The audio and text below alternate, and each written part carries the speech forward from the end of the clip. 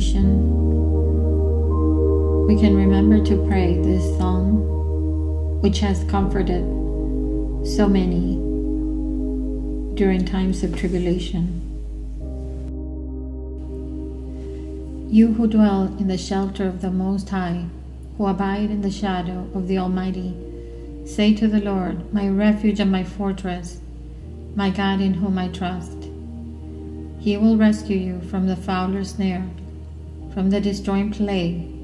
He will shelter you with his pinions, and under his wings you may take refuge. His faithfulness is a protecting shield. You shall not fear the terror of the night, nor the arrow that flies by day, nor the pestilence that roams in darkness, nor the plague that ravages at noon. Though a thousand fall at your side, ten thousand at your right hand, near you it shall not come. You need simply watch. The punishment of the wicked you will see. Because you have the Lord for your refuge, and have made the Most High your stronghold, no evil shall befall you, no affliction come near your tent.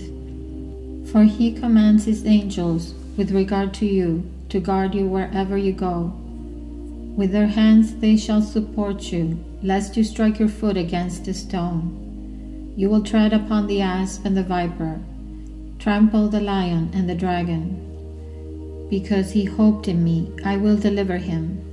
I will protect him because he has known my name. He shall cry to me, and I will hear him.